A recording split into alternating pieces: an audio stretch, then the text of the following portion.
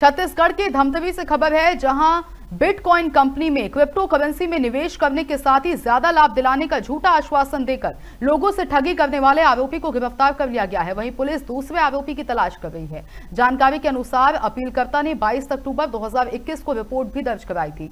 दरअसल आरोपी निर्मल सरवा अपने साथी के साथ मिलकर अपनी कंपनी में क्रिप्टो करेंसी में निवेश के नाम पर लोगों से अठारह लाख सत्ताईस हज़ार रुपए ऑनलाइन निवेश करवाए थे, जिस पर कोतवाली पुलिस ने मामला दर्ज कर जाँच भी शुरू कर दी थी। इस दौरान ऑनलाइन पैसा ट्रांसफ़र ट्रांसफ़र के बैंक स्टेटमेंट और कंपनी के पंजीकरण दस्तावेज़ प्रस्तुत नहीं करने के चलते आरोपी को कोतवाली पुलिस ने 420 और अन्य धारा के तहत गिरफ़्तार कर जेल भेज दिया। पुलिस दूसरे आरोपी की तलाश कर रही है। धमतरी से वैभव चौधरी की रिपोर्ट।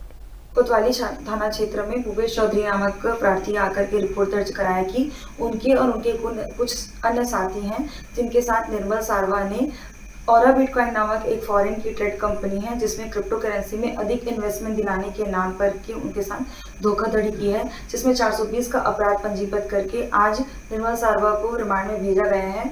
इसमें अन्य भी आरोपी हैं, इनमें विवेचना जारी